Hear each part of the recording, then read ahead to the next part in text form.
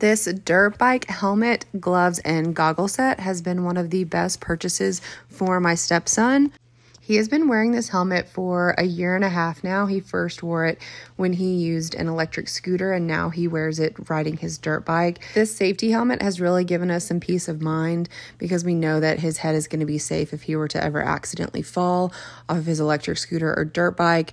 It has some really great features. So you've got a breathing hole up front, this flexible flap up front it's just overall a really sturdy helmet.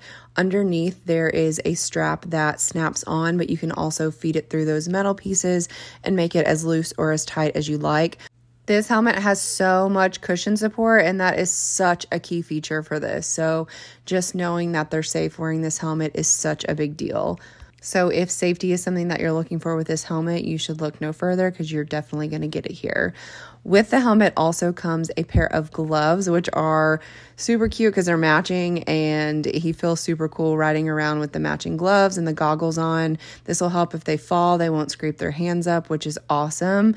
And then these little goggles here, it has an adjustable strap, which is great. I'm going to loosen it up here, but then I'll just retighten it just to kind of show you how large it can get, and it's just super easy to adjust to their head.